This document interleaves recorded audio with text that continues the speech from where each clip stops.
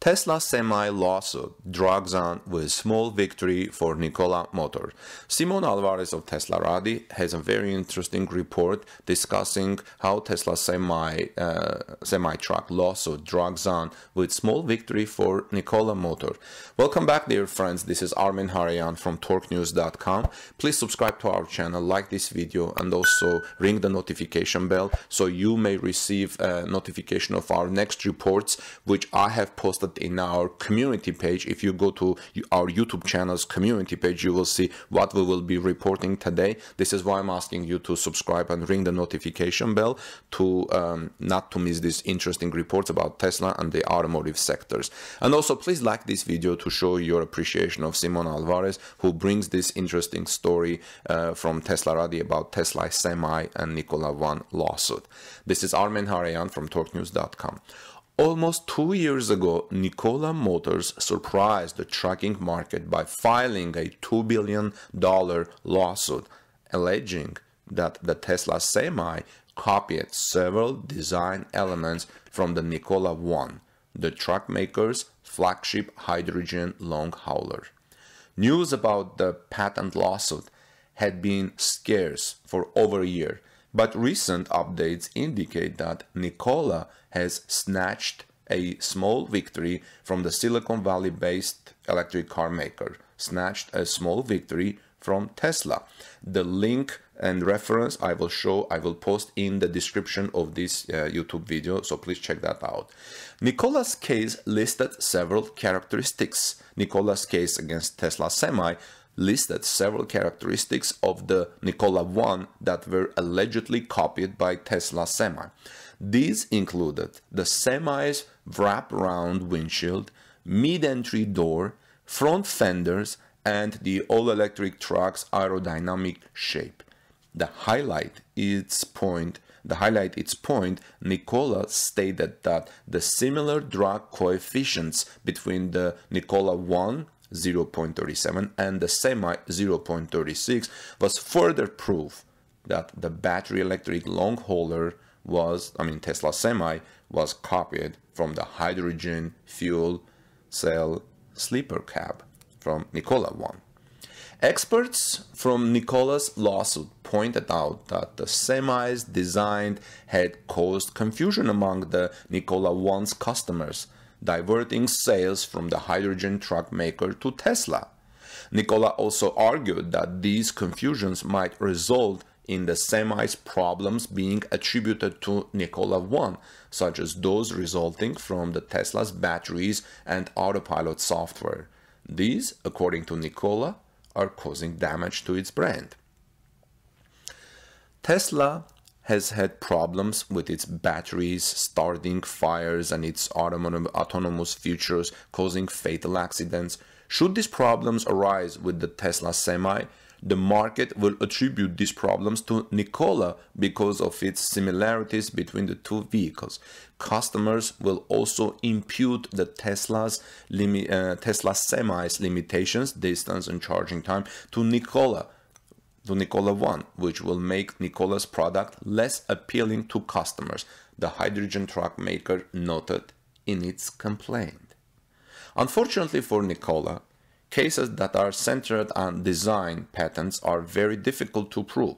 This point was especially highlighted in August 2018 when the US Patent Office awarded Tesla a pair of design patents for the semi that actually listed the Nikola 1 as a reference, which meant that the examiner deemed Tesla's design as unique. For Nikola to win its case against Tesla, it would have to prove that the US patent examiner made a mistake when comparing the Semi and the Nikola 1 uh, the design of the semi and Nikola 1 and that's a very difficult point to argue. Yet if recent tweets from Nikola CEO Trevor Milton are in any indication, it appears that the hydrogen truck maker has stood by its lawsuit against Tesla.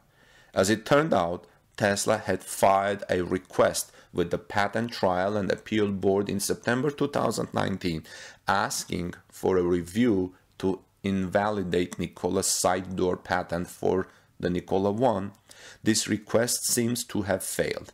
Granted, it is a very small victory for Nikola, considering that it is uh, frightening. Uh, it is actually fighting an incredibly steep uphill, steep uphill battle.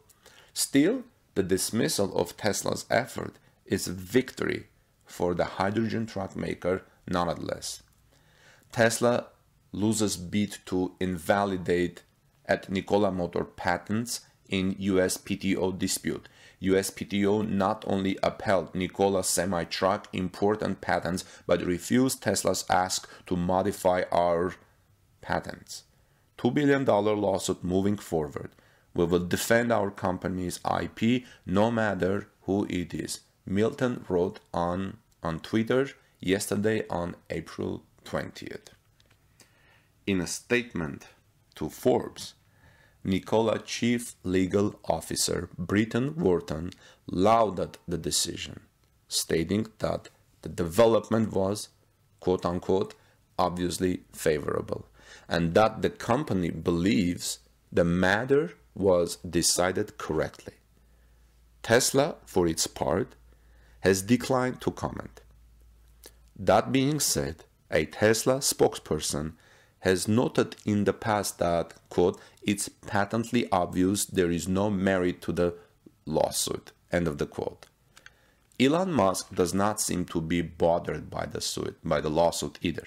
Nothing, uh, not, nothing in the in a previous earnings call that the entire situation is a case of fate-loving irony. Ultimately, the Nikola 1 may very well be beaten to the market by the Tesla Semi. While the Nikola 1 was unveiled prior to Tesla's all-electric truck, prototypes of the Semi have been conducting real-world testing since the vehicles were unveiled. Recent sightings of the all-electric truck suggest that the vehicles are now being tested in harsh conditions in Canada or in Alaska maybe, uh, which I talked about in our previous reports, and you have seen um, dirty and rundown Tesla semi images that showed all the um, all the signs that these semi trucks have been tested in extremely harsh uh, uh, weather conditions in uh, in cold weather conditions, probably to show the potential customers how Tesla Semi will um, uh, will do and how the battery will do, how the range will do in cold conditions. Because if you are in a trucking business, you have shipments in north and south, east and west. Now, this hints that Tesla may actually be on track to start early production runs of the semi semi uh, sometime later this year as hinted at by the company in the past. However there is a question about this. If we're talking about uh, semis running at the end of this year we have not seen anywhere supercharger like mega chargers being built because apparently these mega chargers are important for the tesla semis to charge. So if we haven't seen any permits for any place to build mega chargers. How can Tesla produce semi and how are these semis going to be charged? If you know the answer to these questions, please uh, let's discuss them in the comments section below. Nikola, for its part, seems to be on track to release the Nikola 2, a shorter range battery electric truck before the Nikola 1. The company expects to start production of its trucks next year. Well, friends, these are very interesting developments. So Nikola 1 has had some uh, initial uh, victory against Tesla because of the comparison by the patent office, some type of comparison by the patent office. And uh, let me know what you think about this, please. And also, do you think there is merit to this lawsuit? Because looks like Nikola has a strong case but it also looks like Tesla has a strong case because Tesla apparently has been testing its trucks, if that's a strong enough case, has been testing its semi trucks on the roads before Nikola 1 hydro, um, uh, was, uh, was unveiled.